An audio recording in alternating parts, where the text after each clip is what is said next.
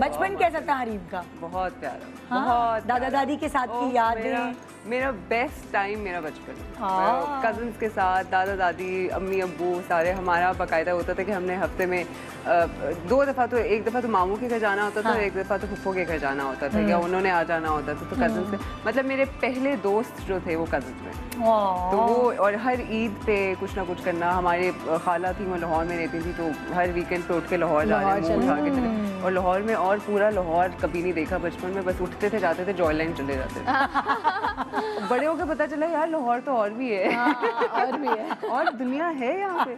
लेकिन वो बस मतलब it was a great time और अ, मुझे याद है उस टाइम पे वो भी होता था हम अपनी गली में अब तो पता नहीं अब अब बहुत कम देखने को मिलता है लेकिन गलियों में खेलते भी होते हाँ, थे पिट्टू बारी, पिट्टू। खो खो होती खो थी। पिट्टू बारी। और किश और पता नहीं किश किश याद लाल परी आना। और वो मैं अलाया को सिखा रही थी उस दिन वो लोग क्या कर रहे थे एक वो एक रस्सी उनके पास थी तो पता नहीं क्या करके जंप वंप पता नहीं क्या मैंने कहा ऐसे नहीं होता फिर मैंने इलास्टिक लाके मैंने कहा ऐसे होता है Oh, किशमिश. अंदर जंप उसके ऊपर फिर यूँ याद है level one level oh two of. Alaya you देख if you want to watch more and get updated so follow AIY digitals YouTube page.